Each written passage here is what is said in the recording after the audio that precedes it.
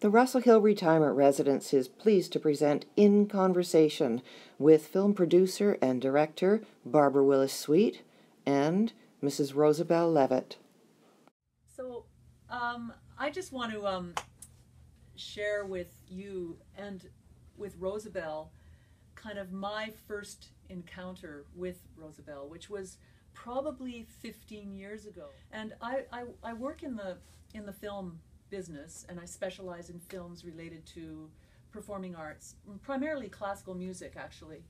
And some of the films I do are a little bit obscure. They're for arty types, and um, they don't always get put on at the most um, prime times. But um, we, my with my company Rhombus, we've done dozens and dozens and dozens of films with great classical artists like Seiji Ozawa and Yo-Yo Ma. I've done eight films with Yo-Yo Ma. Oh, when I get mail about my films, it, it does make an impact on me. And the most impact that I ever had was a letter that I received from a person I didn't know.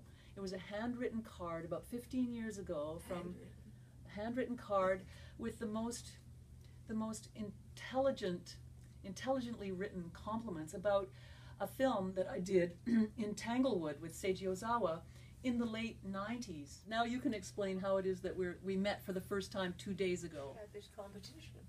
A competition. And um, I was able to uh, fortunately win it. And uh, I named you to be the, the person I wanted most to be. And, and then here we are here. And you walked into the into the lobby and we fell on one another as like old friends. it's true. Well, that, yes, that was sent out as a live transmission from the Metropolitan Opera. La Boheme last year, I did I did La Boheme last year, and it reached a new record audience in one performance. It reached 350,000 people around the world. Around the world. In one performance. In that moment. I'm really interested to know how you got such a, a wonderful knowledge and sensitivity to music. How did that happen?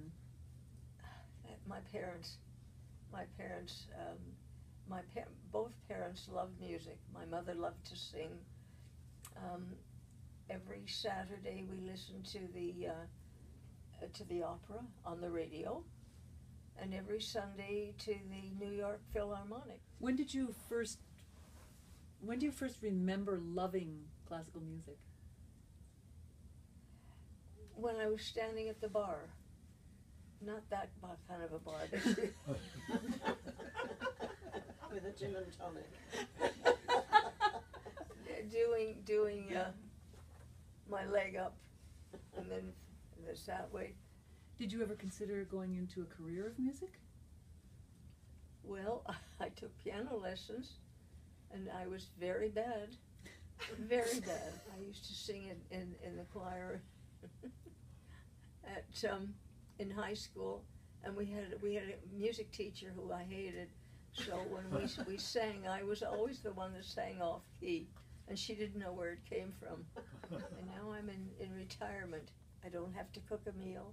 I don't have to make a bed. I don't have to do the laundry. You know, how bad can that be? Plus, you go to all the ballets, you go to all the operas and all the symphony I concerts. I right? get I get out I get out a great deal. I think this is the beginning of a new chapter for both of us where we're going to see each other regularly. I'm going to take you to concerts. And I'm going to. I'm going to invite you to, my house. Yes. Where do you live? Cabbagetown. In a in an old old uh, house that used to be a carriage house. Well, my, my brother-in-law used to call it Garbage Town. well, I'm going to prove to you that it's no longer Garbage Town. She's a panic. Because they were they were looking to they were looking to buy a house, and he said we're not going to look in garbage town. Anyway, it was it, has been wonderful to meet you, and we'll we'll this is not over. No, this is beginning. That's right.